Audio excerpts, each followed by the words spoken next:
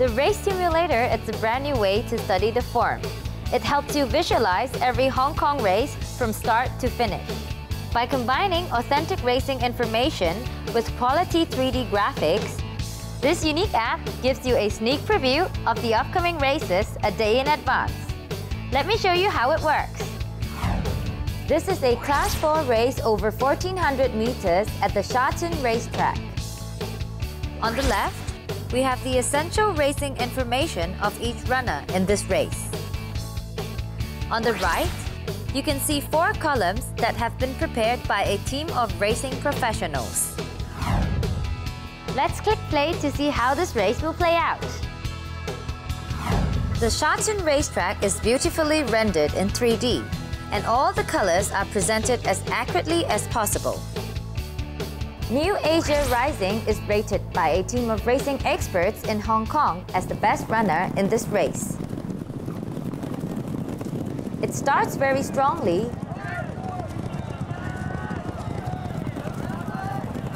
and manages to maintain the lead to win in this tight race. Notice Horseshoe Fortune's strong finish from midfield as it runs second. But the beauty of the race simulator is that it allows you to change things around. Say if I think Bespoke Master and 5 Stars Hotel will start at the front, where they will give New Asia Rising a bit more competition. I just have to click here to change it. It's really simple.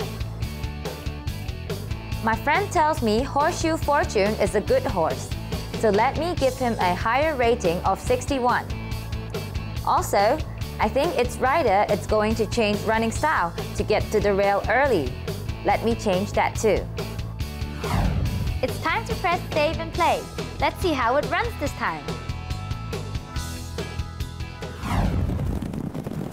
There are more front runners leading with New Asia Rising to tire it out.